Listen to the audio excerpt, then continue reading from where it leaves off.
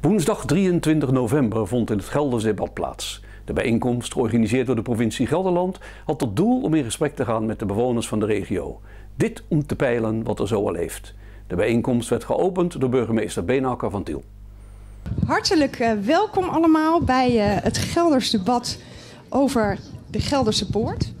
Uh, mijn naam is Fleur van der Schalk. Ik ben fractievoorzitter van D66 Gelderland. En voor vanavond ben ik uw avondvoorzitter. Wat gaan we doen? We gaan met u in gesprek over de toekomst van de regio. En dat doe ik met tien statenleden die hier achter me staan. Um, en dat doen we langs drie onderwerpen: logistiek, de fruitteelt en leefbaarheid. En waarom doen we dat? Nou, we gaan natuurlijk als statenleden individueel of als fractie vaker de provincie uh, in. Maar twee keer per jaar doen we dat als staten in zijn geheel. En dan zoeken we een regio uit waar een actueel onderwerp speelt. Waar de provinciale staat een besluit over moet nemen. En dan willen we graag de mening van uh, de inwoners horen. En uh, dat doen we ook al heel lang, al twaalf jaar. En uh, we zijn in die twaalf jaar twee keer in het rivierengebied geweest. De laatste keer in 2012 in Zaltbommel. Dus het was de hoogste tijd dat we hier weer eens kwamen. En uh, nou ja, en we zijn hier in Tiel, omdat het de, ja, de centrumgemeente is uh, van, uh, van de regio. En zoals ik al zei, we gaan praten over nou, grofweg e economie en leefbaarheid. Ja, want deze regio, um, een belangrijke schakel tussen de haven van Rotterdam en het Roergebied, de poort van Gelderland. Nou, dat is nogal wat, want dat, en dat brengt ook heel veel vervoer met zich mee. Over de A15, we hebben er van, vandaag al wat over gehoord bij ons werkbezoek. Uh, maar ook over de Waal en over de Betuwe-route. Nou, weet ik daar verschillende meningen nog wel eens over. Maar in elk geval, de bestuurlijke ambitie is duidelijk. Want uh, riviergebied moeten uh, in de top drie van de hotspots, logistieke hotspots van Nederland komen is belangrijk dus voor deze regio. Maar ook belangrijk voor deze regio, een economische pijler, is de fruitteelt. Die ontwikkelt zich razendsnel. Het is een booming business in een kleinschalig agrarisch landschap. En heeft rivierengebied het in zich om de fruitdelta van Europa te worden. Dat horen we graag van u. En zo'n logistieke corridor, waar het Rijk 200 miljoen voor heeft uitgetrokken, en een fruitdelta, wat betekent dat nou voor u en voor de leefbaarheid van het gebied?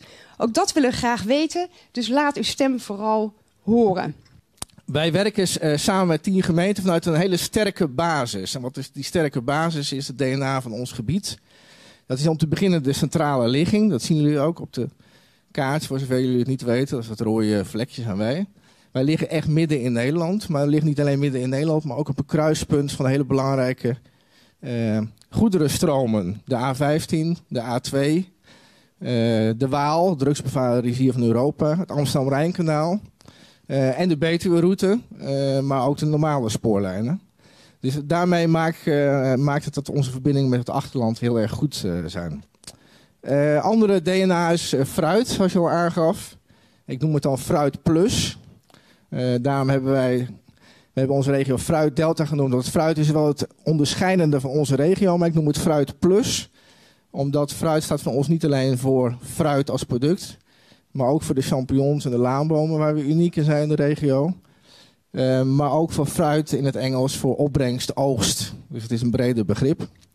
We hebben, en daar staat Delta voor, het unieke landschap. Want dat wordt wel eens vergeten. Als mensen, zeker vanuit het buitenland, hier komen, dan zijn ze heel verrast. Want dit is eigenlijk het echte Nederlandse landschap. De rivieren, ik zal het niet traagstromende rivieren uh, noemen. Um, de dijken, de cultuurhistorie, de mooie oude dorpjes, kastelen, et cetera. Um, dat is wel het unieke van, uh, van uh, ons gebied. Um, dus dat is goed om dat DNA ook vast te houden. Met die fruitdelta werken er al tien gemeenten samen. Wordt, wordt er hier voldoende samengewerkt, vindt u? Met andere gemeenten, maar ook met bedrijven, met de provincie, met het Rijk. Ja, ik vind dat er steeds beter wordt samengewerkt. Maar het kan nog beter. En uh, je ziet ook dat uh, sommige gemeenten ook soms te klein zijn om al die taken zelf te doen. En dan zie je ook dat er uh, nu al initiatieven zijn, Lingewaal, Neerijnen, Geldermalsen, die ook proberen de krachten te bundelen. Je kunt ook op andere manieren krachten bundelen. Ook ook uh, ambtelijk uh, samenwerken. En regio Rivierenland ja, dat is ook belangrijk om daar strategisch na te denken. Keuzes te maken.